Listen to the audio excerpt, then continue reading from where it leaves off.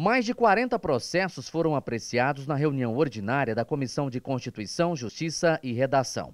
Destaque para aprovação de matérias importantes. Do líder do governo, o deputado Bruno Peixoto, que classifica de interesse público e essencial no setor saúde o comércio de ótica. Projeto do deputado delegado Eduardo Prado, também sobre o assunto, foi juntado à matéria. Os deputados Amauri Ribeiro e Hélio de Souza tiveram processo aprovado que interfere na cobrança de multas de GTA, Guia de Trânsito Animal. É um tema que os parlamentares vêm discutindo há algum tempo.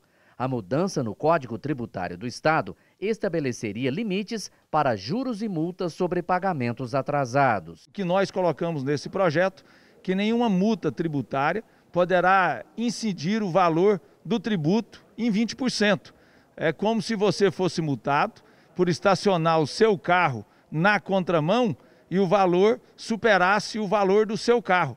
É isso que está acontecendo com esses produtores. Os deputados também aprovaram na CCJ iniciativa do deputado Jefferson Rodrigues, que institui Pacto Estadual de Enfrentamento à Violência contra a Mulher. Do deputado Henrique Arantes, que proíbe visitas íntimas nas penitenciárias.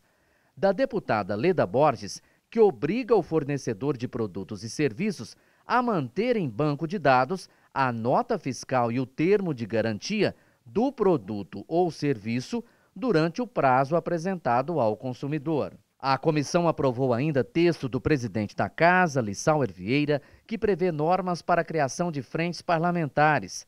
O presidente da CCJ, Humberto Aidar, entende que as frentes precisam funcionar. É um instrumento importante do parlamento é uma ferramenta importante, então essa regulamentação, penso que ela ganha força, né? ela se materializa com essa regulamentação e a nossa esperança, repito, é que essas frentes possam realmente funcionar.